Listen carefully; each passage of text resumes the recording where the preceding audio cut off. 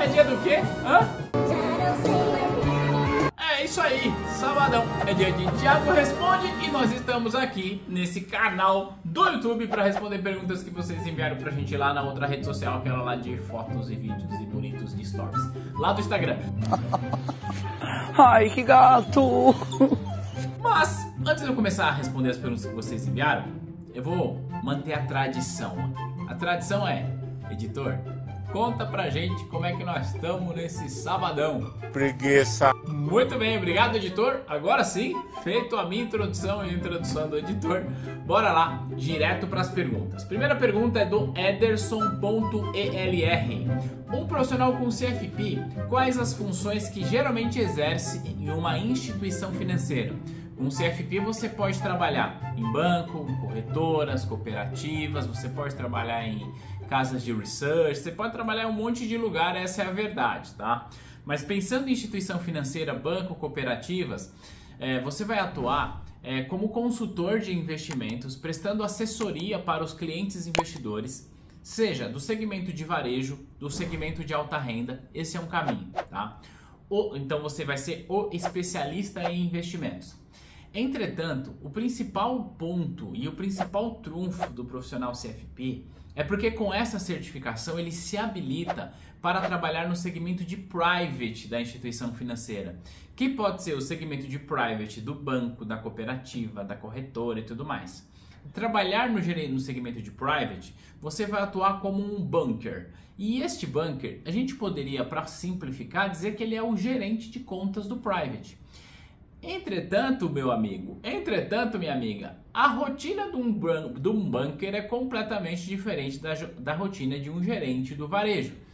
Um cliente que está enquadrado no private, ele tem no mínimo 3 mil reais, 3 mil não, 3 milhões de reais em investimentos na instituição. Então, o nível de relacionamento que você tem com esse tipo de cliente é muito maior, portanto, a sua remuneração é muito melhor e por isso eu digo que o segmento de private é a grande nata do mercado financeiro, tá bom? Voltando aqui para as perguntas, a gente tem aqui a pergunta do Matheus Risso Underline. Ele pergunta o seguinte: para o CFP ou CGA, é necessário inglês fluente? Resposta é não, não precisa. Prova do CFP é totalmente em português, não tem nada, nada, nada em inglês. O máximo que você vai estudar para o CFP pensando em inglês é os termos lá em inglês de mercado financeiro, mas isso a gente já sabe estudando para qualquer certificação. Um ponto importante que ao estudar para o CFP você vai entender como que funciona o sistema de tributação é, para brasileiros que investem fora daqui, mas isso você faz também tudo em português.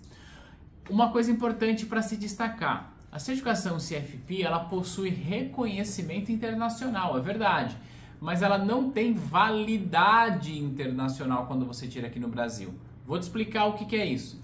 Reconhecimento internacional é você tem uma certificação de peso que é reconhecida no mundo inteiro ou quase, to quase todo mundo, mas ela é reconhecida nos países onde existe a marca CFP. Entretanto, quando você tira a certificação aqui no Brasil, você está estudando legislação do Brasil, você não está estudando legislação de outro país. Portanto, não é correto dizer que com a certificação CFP que você tira aqui, você consegue atuar profissionalmente em outro país.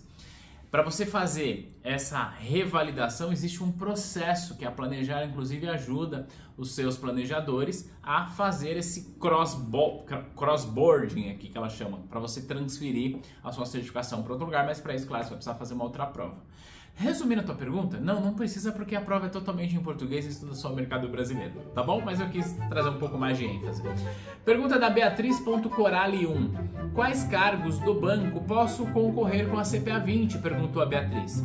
Você pode concorrer com qualquer, qualquer cargo praticamente. Agente de negócios, assistente de gerência, gerente de conta pessoa física, gerente de conta PJ.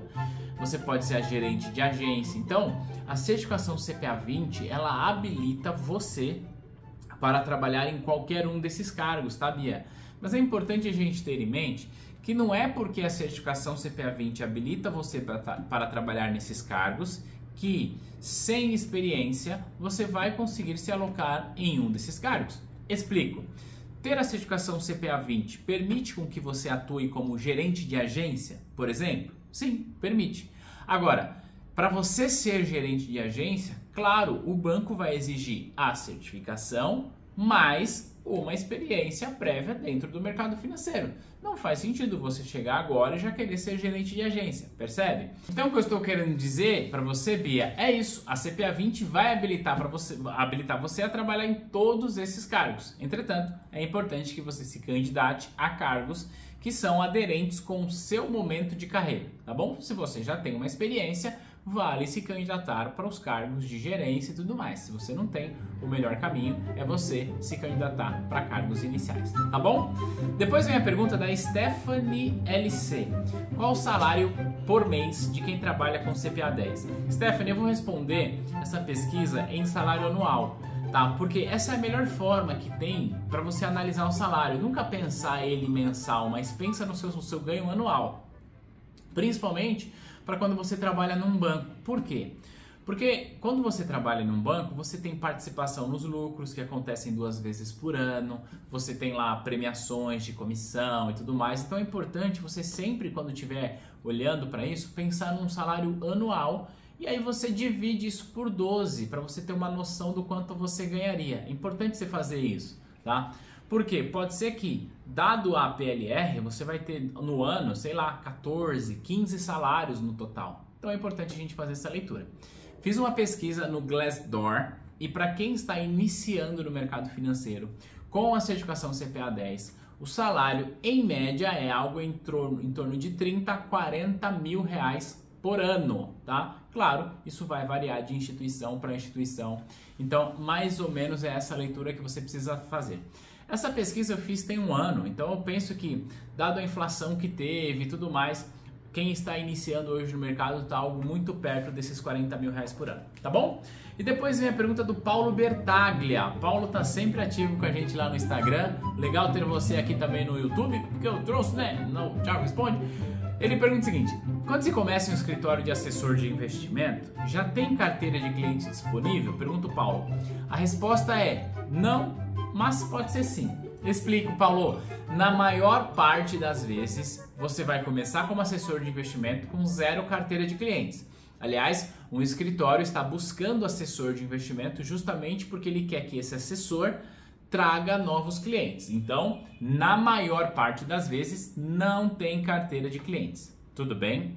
Entretanto, existem alguns escritórios que, dado o seu posicionamento, dado a sua estratégia, podem trazer assessores de investimentos para a formação e esses assessores de investimentos podem assumir carteiras de clientes.